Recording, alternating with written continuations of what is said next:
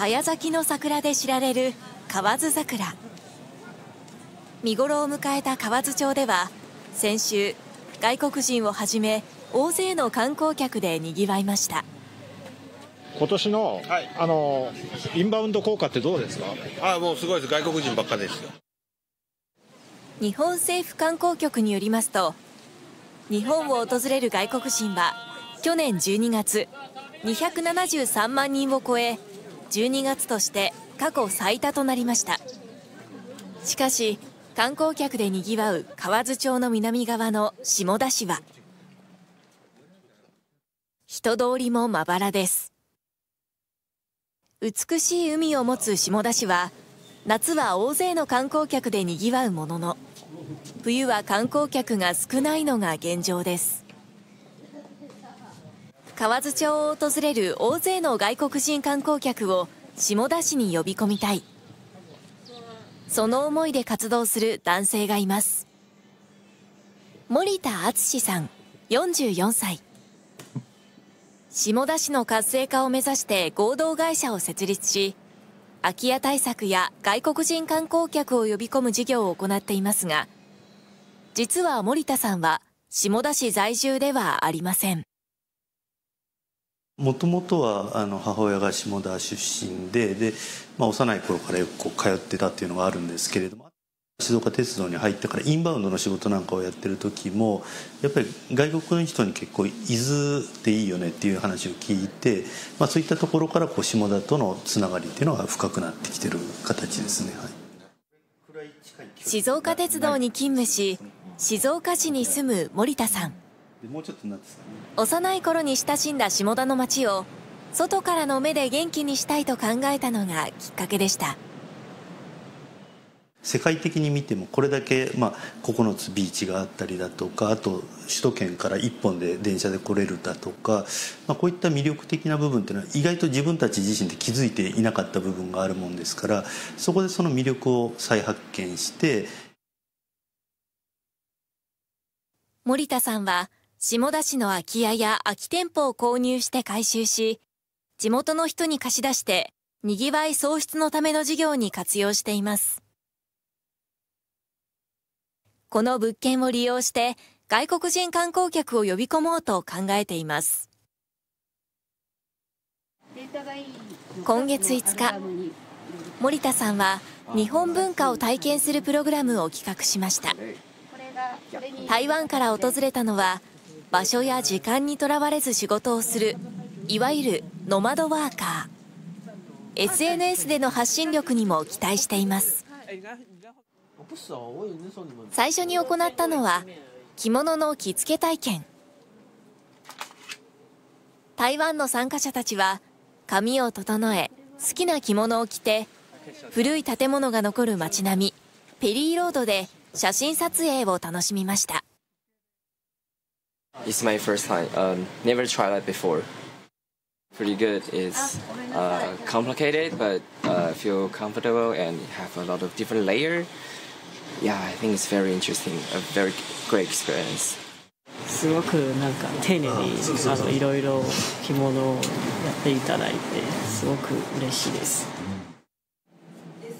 次に訪れたのは森田さんが仲間と購入して改修した元民宿。ここで参加者が体験したのは下田市に江戸時代から伝わる伝統芸能下田芸者です。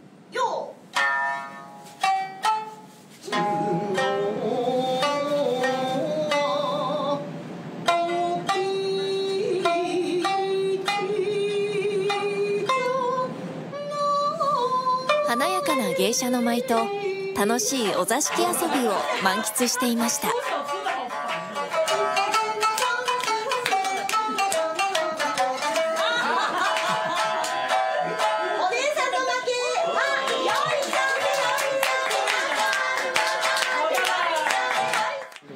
楽しい很好玩。好きですね。我 觉得很好可以了解当地的文化。平常自己来玩比较没有机会。なんか特にこのお座敷遊びとかは初めての方が多かったもんですから下田でしか体験できないことを、まあ、皆さん楽しんでいただいているようでよかったです。体験プログラムを進める中で受け入れ側の課題も見えてきました。ああいうの多分最初にちょっと中国語とかに訳しておいて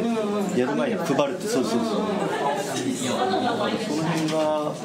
日本語で用意できればそれ翻訳しといてみたいな形が取れればいいか売りやすいかも多分なかなかあれ聞き始めるとその都度通訳ってちょっと難しいみたいな。オンリーワンが下田は多いのでもちろん芸者もそうですけれどもそれ以外歴史的なものあと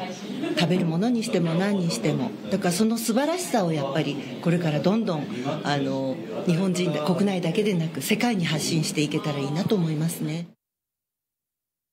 実はお座敷遊びの会場となった元民宿は森田さんが台湾のノマドワーカーと共同出資して購入しています外国人にとっての拠点を作ることで外国人観光客をより多く呼び込めると考えています。その台湾メンバーの会社で所有という形をとっています。彼女たちが来る時とあと友達だとか取引先の人を呼んだ時なんかに、まあ、非常に使い勝手がいいものですから利用してもらえるかなと思います。最後は寿司職人体験ですシャリを握る難しさに悪戦苦闘しながら握り寿司を完成させていきましたプログラムの参加者の反応は？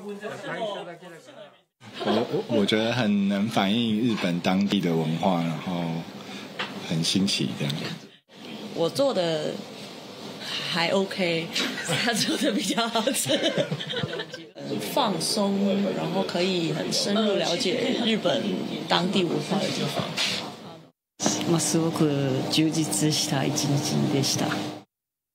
今までの旅行と違って、えっとまあ、そのローカルの体験もできてあのすごく印象的です今回の取り組みを通してもやっぱり下田の方々事業者の方々なんかにご協力いただいてますので、まあ、我々こう外から見た下田の良さというのを発信してで、まあ、その受け入れ側として地元の方々を巻き込んでいければというふうに思います。